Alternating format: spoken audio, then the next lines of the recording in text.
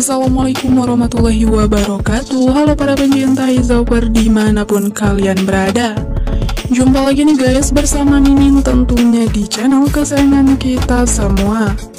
Nah seperti biasa di sini Mimin akan menayangkan info-info menarik dan terupdate dari seputar artis kesayangan kita. Siapa lagi kalau bukan si bebang tampan Rangga Azok bersama sang kekasihnya yang cantik Haiko van der Vecken tentunya ya Nah guys, namun sebelum lanjut ke pembahasannya, alangkah lebih baiknya buat bunda-bunda cantik dan teman-teman semua yang baru saja bergabung atau baru saja menemukan channel Mimin untuk segera tekan tombol subscribe dan nyalakan lonceng notifikasinya terlebih dahulu. Tujuannya agar kalian semua nggak ketinggalan info-info menarik dan terupdate dari channel ini ya.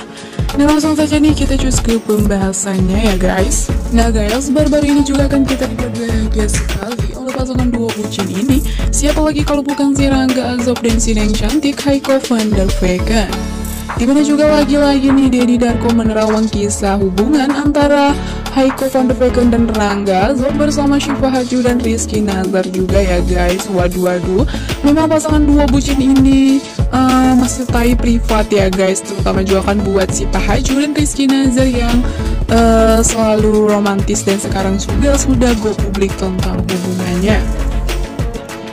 Dan tak hanya itu saja nih guys, Aiko dan Rangga Azab juga memang sudah uh, memberikan benih-benih cinta ya guys untuk go publik nih. Tetapi mereka berdua ini memang masih malu-malu ya Ya apalagi juga tuh saat Haiko dan Rangga Azab juga ngevlog bareng Rosa tuh Di mana juga kan? Haiko Van ini memang ngefans sekali dengan Jungkook ya guys. Waduh waduh.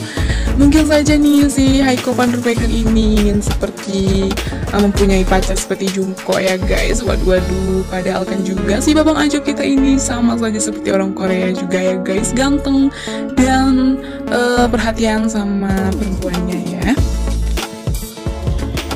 yang apa pun yang terjadi buat mereka berdua ini kita doakan saja yang terbaik. Semoga saja pasangan dua bucin ini atau fans kita ini semoga saja berjodoh ya. Nah itulah saja nih pembahasan dari Mimin. Untuk kalian yang mau tahu berita selanjutnya silahkan subscribe dan komen di bawah ini. Oke baiklah Mimin akhirnya. Wassalamualaikum warahmatullahi wabarakatuh